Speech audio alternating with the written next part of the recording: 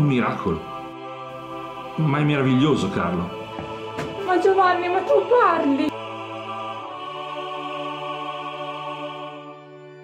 Ogni giorno va nei campi a spezzarsi la schiena dissodando le zolle per poi portare a casa lo stretto necessario.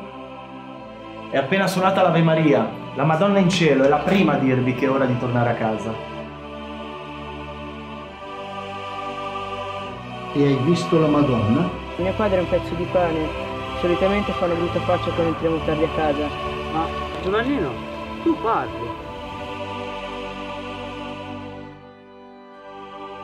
La Madonna mi è apparsa, mi ha detto che vuole riportare pace a questa terra. Mi hanno detto che è venuto anche il dottore a visitare Giovanni.